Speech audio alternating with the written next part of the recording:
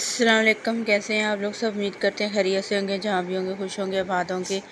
जी, यहाँ पे सैरी का टाइम हो रहा था और हमने बनाया है आलू का पराठा, साथ में है लस्सी और साथ में बनाएँगे थोड़ी देर में चाय। जी, पराठा आलू का हमने खा लिया था और अब देखिए बनी है। हमने आज न्यू ब्रांड चाय बनाई है।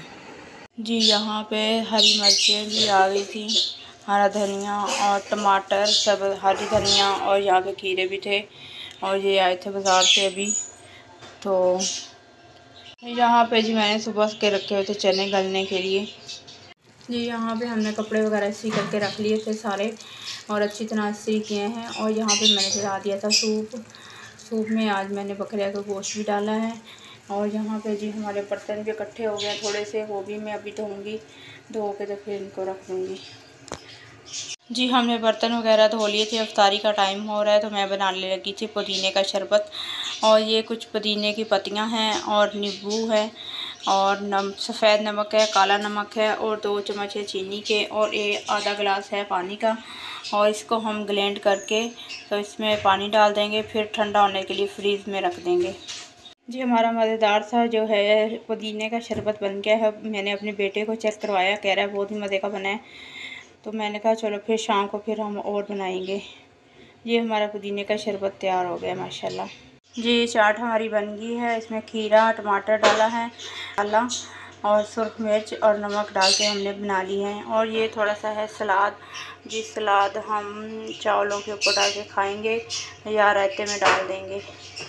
यहाँ पे हमारे चावल बन के तैयार हो गए थे। चने वाले चावल बनाए थे और एक ही गिलास बनाया हमने और इस साथ ही चने की चाट भी तैयार हो गई थी और पुदीने का शरबत ही जो बहुत ही अच्छा मज़ेदार बना है। चेक नहीं किया, बच्चों ने चेक किया, वो कह रहे थे बहुत ही मज़ेदार बना है।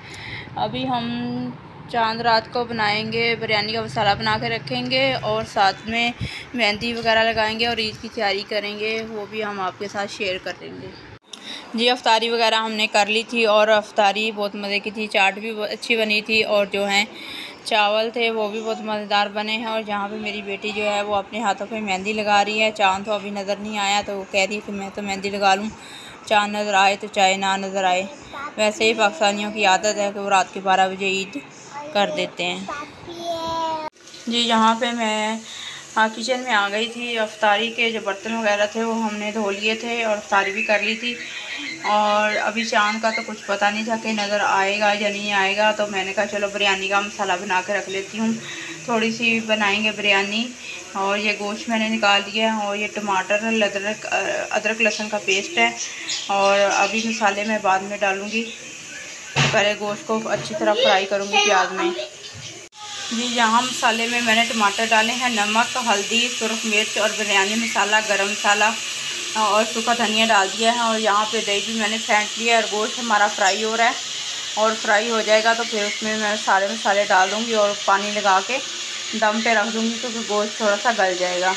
जी, यहाँ पे बिरयानी का मसाला हमने बना बनो लिया था और बहुत ही मज़े का बना था। गोश्त भी गल गया था जल्दी और यहाँ पे मैंने सवैयाँ भी बना ली थी दूध वाली। जी, सुबह थी ईद और सबको हमारी तरफ़ से ईद मुबारक। बहुत बहुत और बच्चों के अबू गए थे। वहाँ से एक मायनीज़ भी लेके आए। हैं मायनीज़ में ये रेसिपी की, रमज़ान की रेसिपी की डायरी निकली है और इसमें बहुत ही मज़े मज़े की रेसिपी लिखी हुई हैं। ये भी हम किसी दिन रेसिपी इस यहाँ से देख के तो इन ट्राई करेंगे। और साथ में थे सीख कबाब और चप्पल कबाब भी थे। वो हमने फ्रीज़ में रख दिए क्योंकि बाहर रखने वाले वो नहीं हैं।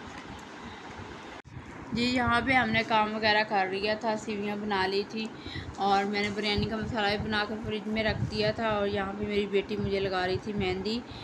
तो मैं जी, मेहंदी मेरी लग के कंप्लीट हो गई थी माशा और बहुत ही प्यारी और ख़ूबसूरत लगाई है, माशाल्लाह से। और ये देखें, ये भी हाथों पे लगाई है। तो हमारे चैनल को कर कीजिएगा subscribe, like, share, comment, bell icon के बटन को लाजमी दबाइएगा। और हमारी तरफ़ से सबको चाँद रात मुबारक और ईद भी बहुत बहुत मुबारक। अल्लाह हाफिज़, बाय बाय, नेक्स्ट के साथ।